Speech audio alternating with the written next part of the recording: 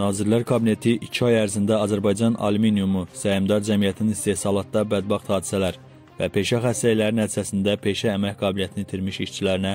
və ya ölmüş işçilərinin ailə üzvlərinə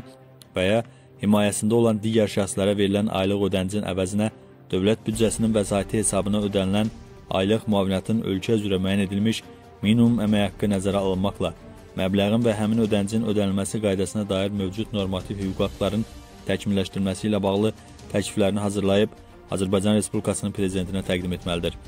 Bu, Prezident İlham Əliyevin ötən gün imzaladığı Sumqayıt Kimya Sənayesi Parkının ərazisinin genişləndirilməsi və Azərbaycan Alüminiumu Səhmdar Cəmiyyətinin fəaliyyətinin təmin edilməsi ilə bağlı əlavə tədbirlər haqqında sərəncamında əksini tapıb. Sərəncama əsasən İqtisadiyyat Nazirliyi isə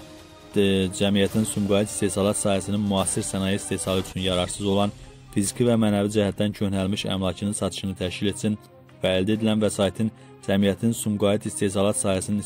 istehsalatda bədbəxt hadisələr və peşə xəstəlikləri nəticəsində peşə əmək qabiliyyətini itirmiş işçilərinə və ya ölmüş işçilərinin ailə üzvlərinə və himayəsində olan digər şəxslərə aylıq ödənclər, işçilərin əmək haqqı, vergilər, məcburi dövlət sosial sığorta, işçilikdən sığorta və icbari tibbi sığorta haqları üzrə yaranmış borcların, habelə cəmiyyətin Sumqayıt istehsalat sahəsinin bu sərəncam qüvvəyə mindiyi günədək olan digər borclarının